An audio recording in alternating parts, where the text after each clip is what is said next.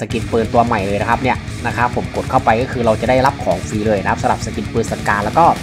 MP40 นั่นเองนะครับบอกเลยว่าโคตรดีเลย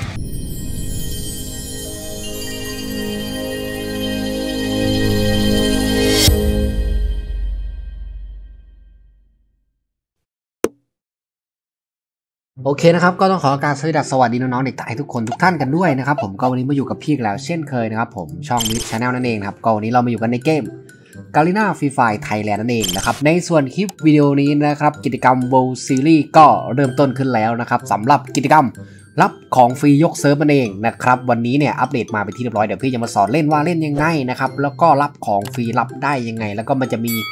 ภารกิจนะครับยังไงก็อย่าลืมดูคลิปนี้ให้จบกันด้วยนะครับวันนี้จะมาสอนเล่นแบบละเอียดกันเลยนะครับใครที่อยากดูคลิปสั้นๆ ย่อๆนะครับแบบรวบรัดก็สามารถไปดูใน Tik t o อกพี่ได้เลยนะครับเดี๋ยวพี่จะสรุปสั้นๆ ลงไปใน Tik t o อกอีกคลิปหนึ่งละกันนะครับผมมาเดี๋ยวพี่พาไปดูกันเลยดีกว่านะครับสำหรับกิจกรรมนี้เนี่ยอัปเดตเข้ามาอยู่ในส่วนกิจกรรม World Series 2022นั่นเองนะครับวันนี้เป็นวันที่ 3 นะครับนี่เห็นไหม แคมป์เก็บตัวนักแข่งนั่นเองนะครับก็คือจะมี airboard ฟรีๆนั่นเองนะครับก็จะมีภารกิจให้เล่นนะครับเป็นกิจกรรมแคมป์เก็บตัว World Series 2022 นักแข่งนั่นเองนะครับผมร่วมเล่นมินิเกมนะครับลานซ้อมยิงนะครับและรับชมตัวอย่าง CG นะครับแอนิเมชันนะครับเพื่อรับของรางวัลฟรีๆนั่นเองนะครับโอ้โหของแจกเยอะมากนะครับผมทีเนี้ยพอเรากดเข้าไปมันเป็นกิจกรรมอย่างไหนนะ เดี๋ยวพี่พาเข้าไปดูกันเลยนะครับผมปุ๊บนี่เลยก็จะเป็นแบบนี้เลย นะครับเป็นภารกิจให้ทำนะครับของรางวัลก็จะมีอาหารคู่หูนะครับมีตั๋วโกลด์นะครับผมมีตั๋ว Diamond Royale นะครับแล้วก็จะมี airboard นะครับผม FFWS 2022นั่นเองนะครับส่วนฝั่งซ้ายมือก็จะมีวิดีโอนะครับ CG นะครับนี่เลยนะครับผมแล้วก็จะมีเสื้อแจ็คเก็ตนะครับผมให้อ่ายังไงเช็คอินนะครับผมเพื่อจะแลกของรางวัลประมาณนี้เลยนะครับผมนี่นะครับผมอะประมาณนี้ นะครับส่วนรายละเอียดก็สามารถอ่านได้เลยนะครับ อาจจะเป็นภาษาอังกฤษนะครับผมนะคือเอาง่ายๆก็คือ เราน่าจะใช้กระสุนตัวเนี้ยนะครับที่เรามีอยู่เนี่ยนะครับผมมาลงชื่อประมาณนี้เลยนะครับสำหรับแจ็คเก็ตนั่นเองนะครับผมทีเนี้ยข้างล่างคืออะไรนะครับ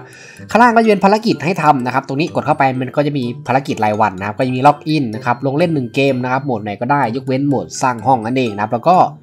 สังหาร3 kill นะครับรับอีก 1 กระสุนนะครับแล้วก็เล่นกับเพื่อนนะครับผมเล่นกับเพื่อนอีก 1 เกมนะครับรับอีก 1 กระสุนแล้วก็เล่นครบ 3 เกมรับอีก 1 กระสุนก็คือ ภารกิจรายวันเนี่ยจะรีเซ็ตทุกตีสี่นะครับทุกวันเลยนะครับรับได้วันละ 5 โทเค็นนั่นเองนะครับ5โทเค็นกระสุนนะครับอ่าเดี๋ยวพี่ขอกดรับไปเลยล็อกอินเข้ามากดรับได้ 1 โทเค็นนะครับแล้วก็เล่น 1 เกมพี่เล่นไปแล้วนะครับรับไปอีก 1 กระสุน1โทเค็นนะครับจากนั้นกดกลับมาครับผมทีเนี้ย มันก็จะขึ้นกระสุนให้เรานะข้างบนไหมอ่าสองอันนะครับเดี๋ยวพี่จะเหลือไว้อ่าตรงนี้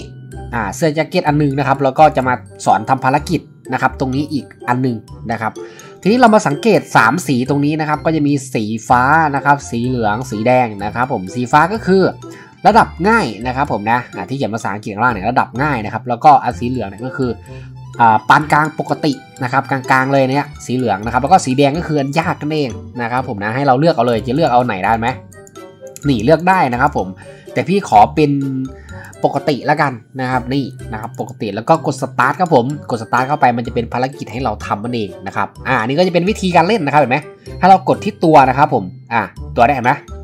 มันก็จะบวกคะแนนให้เรานะครับ ก็คือภายใน 15 วินาทีนั่นเองนะครับเวลาในการคลิกทำภารกิจนั่นเองนะครับไปเราเข้าไปดูกันเลยนะครับอ่ามาแบบนี้แล้วกดเลยปุ๊บเห็นไหม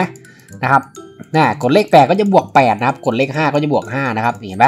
นี่ง่ายๆเลยนะครับผมปุ๊บปุ๊บกดไปกดไปเน้นที่เลข8นะครับโอ้ยมือใครไวนี่กดไปเลยนะครับ ผมกดรัวๆเลย นี่เห็นไหมกดรัวๆกดรัวๆครับอ่าเรียบร้อย ได้เท่าไหร่อะได้ 99 นะครับผมโอ้โหนะครับผมก็คือ ถ้าเราเอายากเนี่ยมันจะขึ้นแต้มเห็นไหม20นะครับ เราก็จะมีโอกาสที่จะได้เยอะนั่นเองนะครับเห็นไหมทีเนี้ย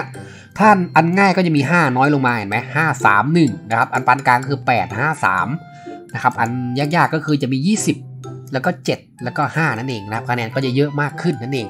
ครับ ส่วนคะแนนที่สะสมได้ก็จะอยู่ตรงนี้เห็นไหม99เห็นไหมพี่ได้99เมื่อกี้ มันก็จะขึ้นขีดตรงนี้มานะครับพอเราสะสมครบ 400 เราก็จะได้อาหารคู่หูครบ 600 ได้เป็นตั๋วโกลด์นะครับ900 ได้ตั๋วโกลด์1,500 ได้เป็นตั๋ว Diamond Royale นะครับแล้วก็ถ้าครบ 2,000นะครับเราจะได้เป็น airboard นั่นเองนะครับผมประมาณนี้ ทีนี้พี่เหลืออีกหนึ่งโทเค็นนะครับพี่ขอไม่เล่นแล้วกันเพราะว่าพี่สอนเล่นไปแล้วนะครับก็จะเล่นเหมือนกันนี่แหละนะครับทีนี้เดี๋ยวพี่ขอใช้ในส่วนนี้แล้วกันนะครับนี่ปุ๊บอ่าแล้วก็กดตรงนี้ใช้ไป1โทเค็นกระสุนนะครับปั๊บนี่ มันก็ไม่ให้ใช้เรานะครับไม่รู้เป็นอะไรนะเนี่ยเห็นไหมอ๋อต้องเลเวล10นะครับผมเนี่ยมันบอกว่าอ๋อเลเวล10นะเนี่ยเห็นนะนี่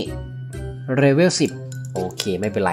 นะครับก็จะมีวันที่3ถึง18นะครับแล้วก็อันที่ 2 ก็คือเป็นวันที่ 19ถึง20 นะครับผมเป็นลัก Lucky Dreamนะครับผมแล้วก็วันที่ 22เนี่ยก็จะเป็นกิจกรรม winner นะครับผม 22ถึง24 นั่นเองนะครับผมเนาะเดี๋ยวใช้ได้ยังไงเดี๋ยวพี่มาบอกใต้คอมเมนต์ละกันเนาะในส่วนนี้เนาะเห็นไหมมันต้องถึงเลเวล10 ก่อนนะครับผมเนาะโอเคเดี๋ยวพี่ขอเล่นอีก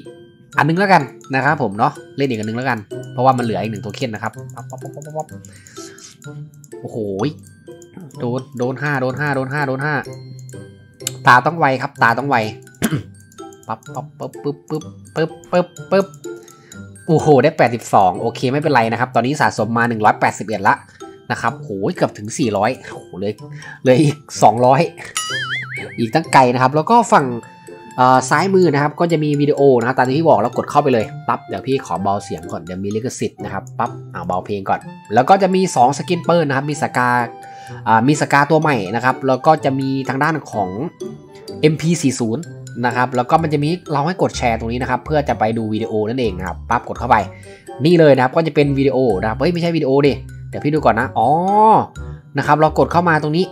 เข้าใจล้วพี่เข้าใจละนึกว่าเป็นวิดีโอนะครับ ปั๊บ อ่า เหมือนกดแชร์นะครับ ผมกดแชร์เสร็จมันจะบันทึกเป็นรูปนะครับ บันทึกเป็นรูปให้เรา นะครับผม แล้วก็เรากดออกเราก็จะได้ของฟรี ปั๊บ อ้าวทำไมได้อันเดียว ได้อันนี้อันเดียวเฉย นะครับแต่บางเซิร์ฟเนี่ยก็เป็นวิดีโอนะครับบางเซิร์ฟก็เป็นวิดีโอนะครับหรือว่าต้องกดตรงสกินปืนปึ๊บอ๋อต้องกดตรงสกินปืนครับผมมันจะเป็นวิดีโอให้เรานะครับผมนี่นะครับเราก็ต้องดูจนจบมันเองนะครับนี่นะครับอย่างเท่นะครับอันนี้เหมือนกันนะครับปุ๊บเป็นวิดีโอเหมือนกันครับผม แต่เมื่อกี้เนี่ยก็คือถ้าเรากดเข้าไปมันขึ้นกดแชร์ก็คือได้รับของฟรีนั่นเองนะครับผมนี่เลยตามนี้เลยนะครับสำหรับสกินปืนนะครับโห อย่างเท่เลยนะครับสำหรับสกินปืนตัวใหม่เลยนะครับเนี่ยนะครับผมกดเข้าไปก็คือเราจะได้รับของฟรีเลยนะครับสำหรับสกินปืน SCAR แล้วก็ MP40 นั่นเองนะครับบอกเลยว่าโคตรดีเลยนะครับสำหรับกิจกรรมนี้ก็เล่นได้ง่ายนะครับพี่ก็สอนไปแล้วนะครับกิจกรรมนี้เนี่ยจะมีถึงวันที่เท่าไหร่เอ่ยนะครับเดี๋ยวพี่ดูแบนเนอร์ก่อน มีถึงวันที่ 24 พฤษภาคมนั่นเองนะครับผมก็จะประมาณนี้เลยนะครับ พี่ก็มาสอนเล่นกันแล้วนะครับ ใครที่ได้รับของฟรีได้กี่แต้มได้กี่คะแนนแล้ว อย่าลืมคอมเมนต์บอกพี่กันด้วยนะครับโอเคสำหรับคลิปวิดีโอนี้ก็ประมาณนี้เลยเดี๋ยวพี่เออลืมรีวิวอีกกิจกรรมหนึ่งนะครับอยู่ในตู้สุ่มตู้สุ่มตรงนี้ตู้ตรงไหนเออตู้ไดมอนด์ปะนี่เป็นชุดใหม่นะครับเป็นชุดมาใหม่เลยนะครับอะเดี๋ยวพี่ขอสุ่มเลยแล้วกันเฮ้ยแต่พี่มีแล้วนี่ว่าโอเคนะครับใครหมดกี่ใบนะครับใครหมดกี่ตัวเอ้ยใครหมดตัวไดมอนด์ เราย่านกี่ใบก็อย่าลืมคอมเมนต์บอกพี่กันด้วยหรือว่าหมดกี่เพชรอย่าลืมคอมเมนต์ไว้ใต้คลิปวิดีโอนี้ด้วยนะครับโอเค ไว้เจอกันคลิปหน้าครับผมสำหรับคลิปวิดีโอนี้ลาตัวไปก่อนนะครับผมกล่าวว่า สวัสดีครับ